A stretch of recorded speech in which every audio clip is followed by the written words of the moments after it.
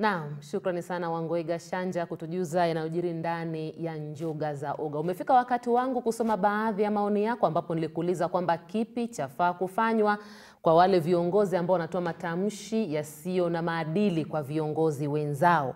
Kuna huyo anasema kwamba ni Isoge uh, kutoka Isoge Scheme kule Nyamira County, anasema mimi nasema hivi, hatua kali zichukuliwe kwa viongozi ambao wanachochea Kenya ni kubwa kuliko mtu mmoja. Cha muhimu tunataka amani, amani amani popote, ndivyo anavyosema. Mwingine hapa anasema Wakenya yafaa toba, hakuna jambo lingine. John Onyango kutoka Awasi, ndiyo maoni yake. Kuna huyu anasema kwamba viongozi wanaotoa matamshi ya kugawanya Wakenya wakamatwe na wafungulie mashtaka. Ni Pasta Job Maburu wa Kilimani Tarbo, ndiyo maoni yake. Na kupata Sam kutoka Nyeri unasema kukamatwa si suluhisho, maadili mema ama uadilifu ndio wafaa jamii kufunza watoto wanapokuwa, ili wakiwa watu wakubwa, basi wazi wataendelea kushika hiyo waliofundishwa. Kuna huyo anasema serikali iwakamate na washtakiwe.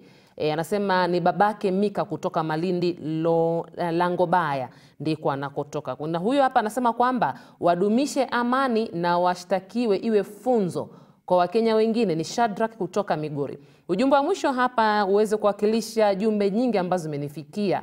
Kuna huyu anasema kwamba viongozi wanaotoa matamshi ya chuki wapelekwe Hague mapema. Ndiyo maoni yake. Haya basi, maoni ni mengi, siwezi kuyasoma yote. Shukrani sana kwa pamoja nami tangu mwanzo mwa jamvi la MBCI hadi hapa nimefika tamati. Leo nimekuwa peke yangu baada ya mapumziko marefu. Mwenzangu Wilson Kamiti nitakuwa najumuika naye hapo kesho.